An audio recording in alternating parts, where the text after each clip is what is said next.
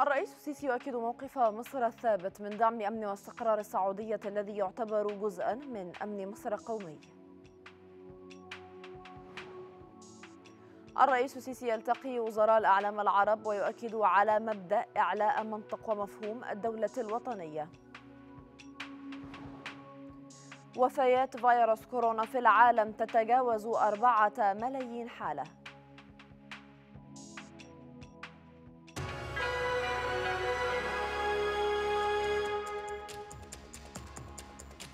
الحادية عشرة صباحا التاسعة في جرينتش موجز إخباري. يأتي حضراتكم من القاهرة. أهلا بكم.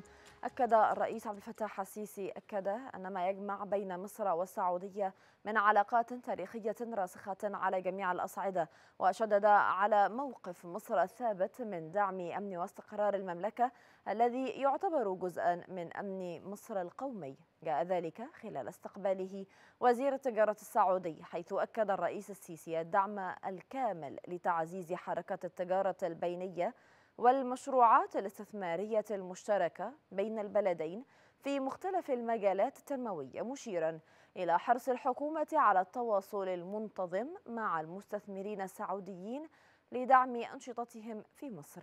وخلال اتصال عبر تقنية الفيديو كونفرنس تلقاه من رئيس وزراء ماليزيا محي الدين ياسين رحب الرئيس عبد الفتاح السيسي بفتح آفاق جديدة للتعاون مع ماليزيا وأوضح المتحدث باسم رئاسة الجمهورية.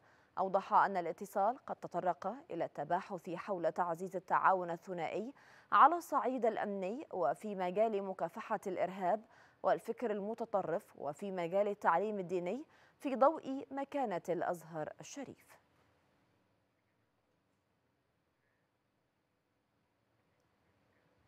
أكد الرئيس عبد الفتاح السيسي أن ثوابت سياسة الدولة المصرية التي لا تتغير قائمة على عدم التدخل في شؤون الدول أو زعزعة استقرار الجيران من خلال استخدام ميليشيات أو جماعات مسلحة وأشار خلال استقباله وزراء ومسؤولي الإعلام العرب إلى أن دعم المؤسسات الوطنية هي أساس تقدم واستقرار الدول ودعا الرئيس السيسي إلى إعادة دور الدولة الليبية على حساب منطق الميليشيات وسيطرتها مشيرا إلى وقوف مصر إلى جانب الحكومة الشرعية في اليمن ومساندة لبنان ومؤسسات الدولة فيه وكذلك دعم العراق ومستقبل سوريا وإقامة دولة فلسطينية مستقلة.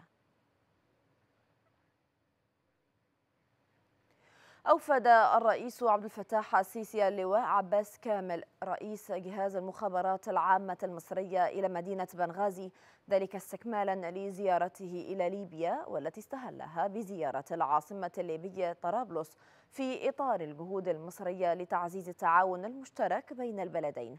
وقد التقى رئيس المخابرات العامة المصرية خلال زيارته لبنغازي المشير خليفة حفتر القائد العام للجيش الوطني الليبي معربا عن تقدير مصر لجهود وتضحيات أبناء الجيش الليبي في محاربتهم للإرهاب وحفاظهم على مقدرات الشعب الليبي مؤكدا على استمرار الجهود المصرية لدعم الاستقرار بليبيا.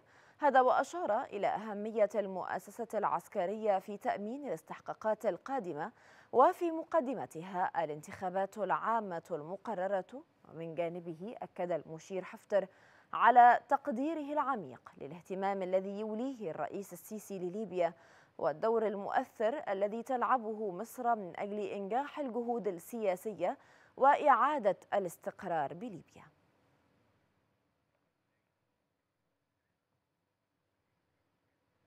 أعلن مجلس الوزراء أن وزارة الصحة قد وضعت خطة لتأمين الامتحانات بغرض الحد من انتشار فيروس كورونا بين الطلاب. هذا وخلال تقرير الذي استعرضه رئيس الوزراء مصطفى مدبولي والمقدم من وزيرة الصحة هالة زايد فإن الخطط التي أعدها قطاع الطب الوقائي بالوزارة استهدفت تطعيم العاملين بوزارتي التربية والتعليم والتعليم العالي بمراحلها المختلفة التي تضمنت المرحلة الثانوية والجامعات والكليات وغيرها. وتطرق التقرير إلى خطة وزارة الصحة لتطبيق الإجراءات الوقائية الواجب اتباعها أثناء الامتحانات.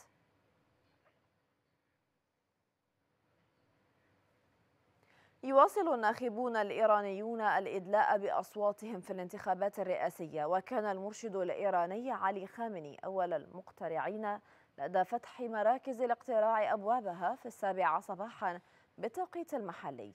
وإلى جانب الانتخابات الرئاسية تشهد إيران انتخابات تكميلية برلمانية وكذلك انتخابات رؤساء البلديات.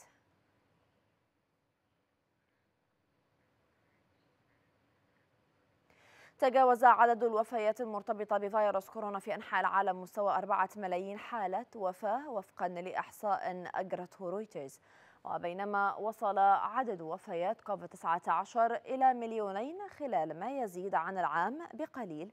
تم تسجيل المليونين التاليين خلال 166 يوما فقط وفقا لتحليل لرويترز.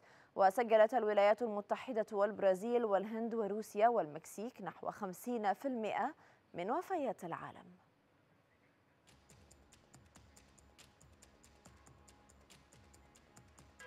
نهاية الموجز لمزيد من الأخبار يمكنكم دائما متابعة موقعنا على الإنترنت أكسا كما يمكنكم متابعتنا على مواقع التواصل الاجتماعي فيسبوك تويتر إنستغرام ويوتيوب. دمتم سالمين.